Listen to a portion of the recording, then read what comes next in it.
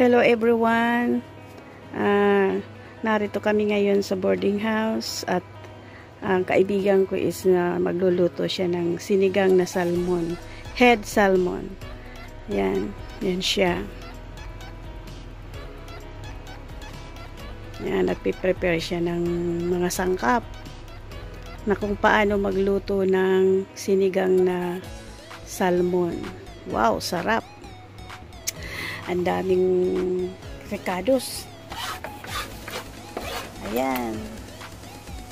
Yan ang mga sangkap na ilalagay niya. Ito yung salmon head. Wow!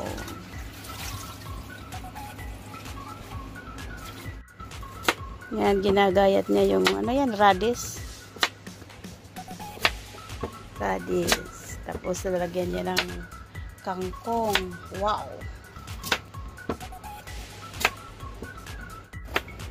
Ginagayat din niya yung talong.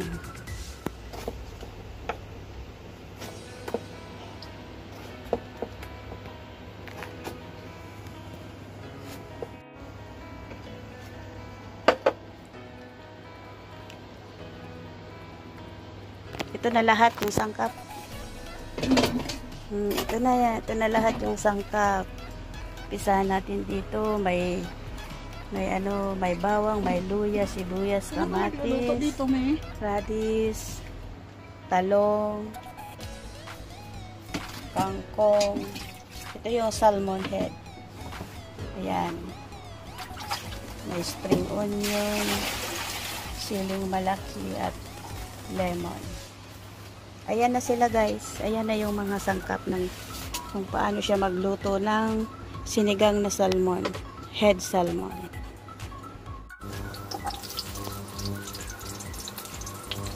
Tapos, una niyang nilagay yung bawang. Okay na.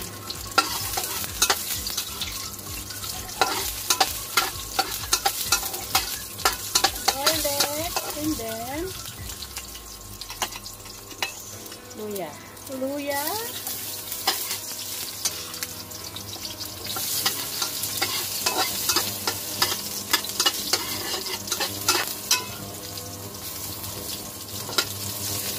Tapos sibuyas. Luya.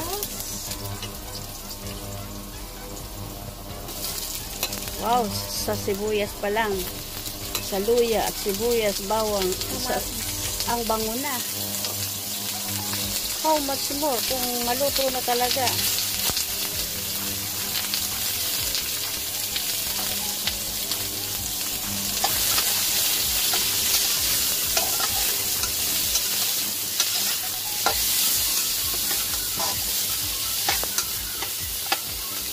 Maraming kamatis. Kamatis.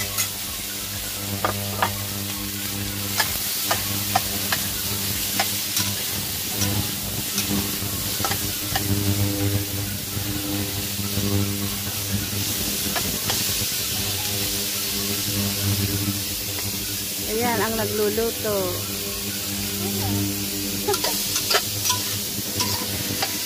Inaano ko yung kamatis. Sinuguro. Kasi maano yung ating Ganun pala ang style mo.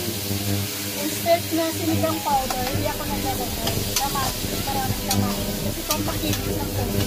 Wow! Instead na sinigang powder, kamatis. Maraming kamatis. Kasi maganda yung kamatis sa skin natin. Sus! Charot! Sus! Charot! Ilang bulat pa. Charot lang! Ay, kasi masarap naman kasi din yung kamatis. Uh, maganda sa kultus natin. Okay. Ano na sunod niya? Lagyan ko lang ng tubig.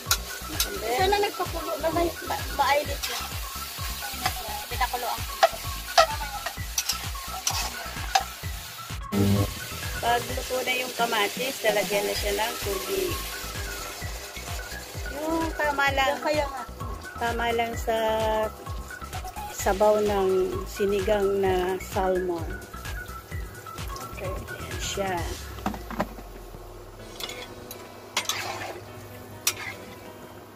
Ayan na.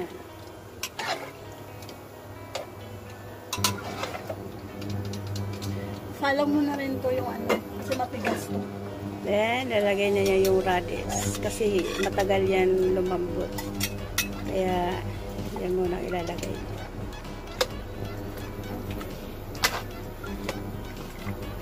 And then, pakukuluan siya ng Pakuluan bagya. mo na. Takpan muna natin Takpan.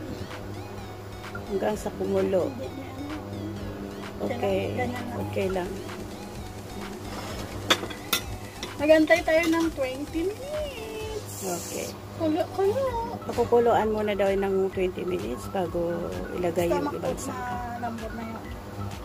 Tsaka asin. Ayan, titiplahan niya niya ng ah, pam- ano ba yan?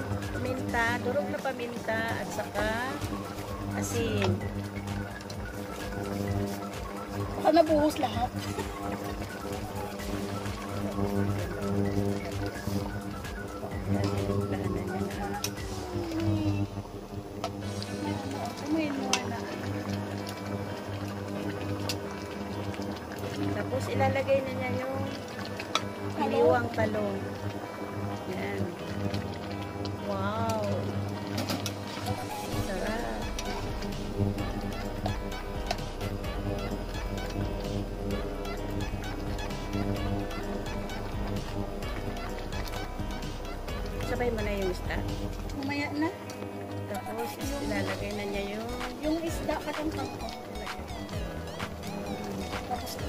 Lagay na niya yung siling malaki.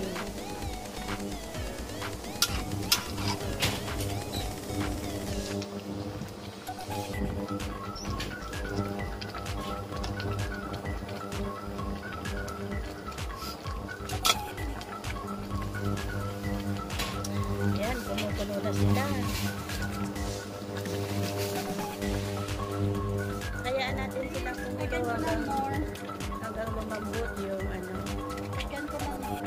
Maglalagay siya ng pampalasa. Pwede naman po optional po yan. Pwede hindi. Pwede lagyan. Nasa sa inyo po kung ah, gusto nyo maglagay. Pwede naman din. Sarap. Grabe ang, ang bango. Ilalagay na rin niya yung Tsaka isda. Muna muna. Malinis mo kamay ko niya. Okay. Isa-isa lang. Ayan. Dami. Fiber to, fiber. Ang daming kangko. Tapos yung sabaw mo kakaunti. Ihigupin naman yun.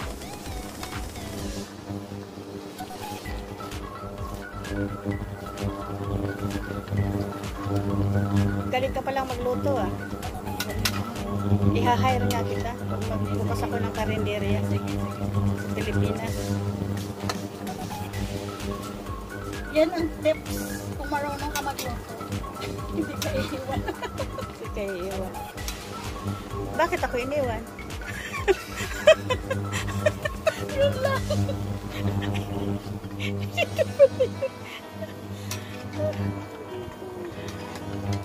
Joke lang. ka? Hindi ka naman iiwan. Joke lang na, joke lang mga ka, mga ka- mga guys. Kami lang nagkakasayahan din. Nilagay na niya yung spring onion.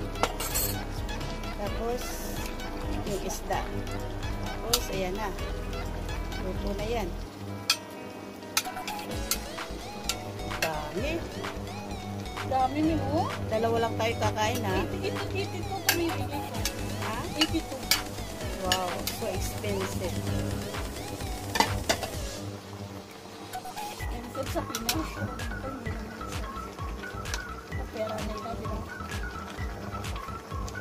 i-convert mo sa piso, yeah.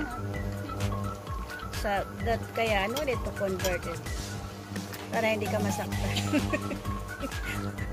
kung magkano yung halaga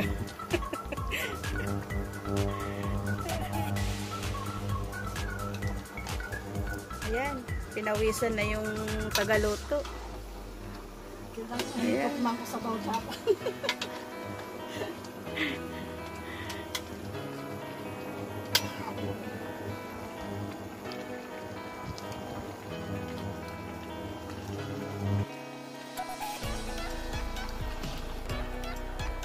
siya. Lemon. This is lemon. Last is ilalagay na niya no Lemon. calamansi juice.